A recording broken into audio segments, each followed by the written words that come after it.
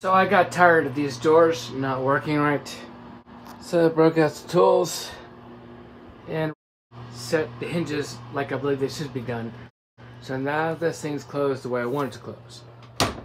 But that is about the best I can get this door. Open it up, take a shower, when you get done, close it back.